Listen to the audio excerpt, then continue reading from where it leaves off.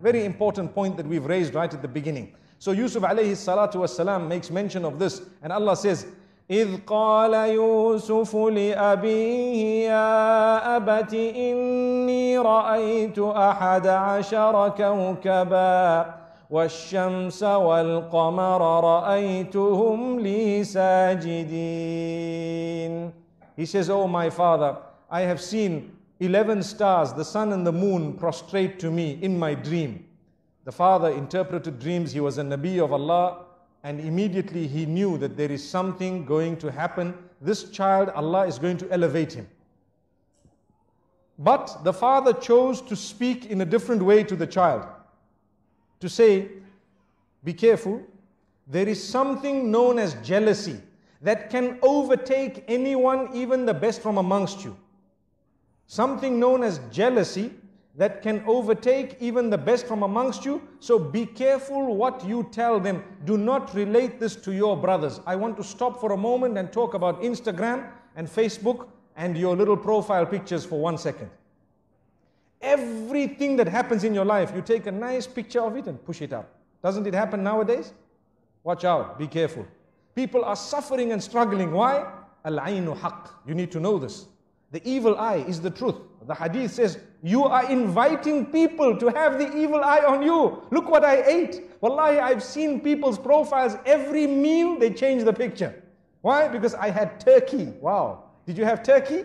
They say, I had this lasagna. And you, you need to know how to pronounce it as well and how to spell it as well and I had this and that, and this is the juice I had, and the drink I had, and this is where I went, and this is the hotel I stayed in, and this is how beautiful this was, this is the dress I bought, and this every single thing. And every while you dress your child, and the picture is up, and you dress another child, and the picture is up. Wallahi, there is a lesson. Go back to Surah Yusuf. There are two times that we learn a lesson in this surah in this regard.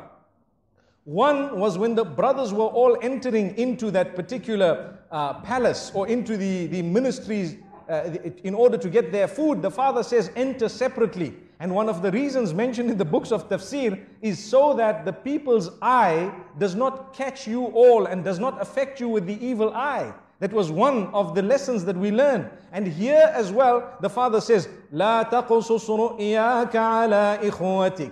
Do not relate this dream to your brothers. Do not relate it to your brothers.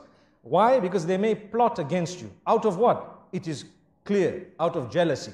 And the hadith says, Innal hasada ya'kulul hasanat kama ta'kulun narul hatab. Indeed, jealousy would eat away at your good deeds in the same way that fire would eat a dry log. And we know this. So, my brothers and sisters, think for a moment before you upload your pictures and before you actually put your food and everything else. You know, we are not saying that uh, you should divorce yourself completely from technology, but what we are saying Make good use of it.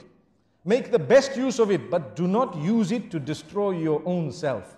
You can, you can tell genuine people sometimes some goodness you've been in, but it does not have to be everything. Because let me be honest, you send one, two, three, ten pictures, and some people who see it are wishing for it all their lives, working towards it, and you have it with so much ease. Do you think they will be able to digest it? There will come a stage in their lives when they start feeling something towards you. Look at this person, they have heaven on earth and they don't know the problems you have in, the, in, in this dunya. Why don't we put up, pro- well, I'm not encouraging it, but I'm saying, imagine if we were to put up profiles about the bad things that happened in our lives all the time. We would be living in gloom and doom.